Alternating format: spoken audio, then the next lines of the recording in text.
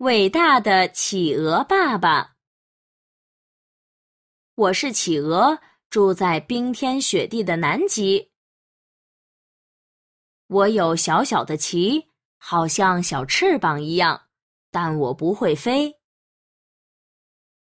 可是我的脚像鸭子一样有蹼，所以我是游泳高手。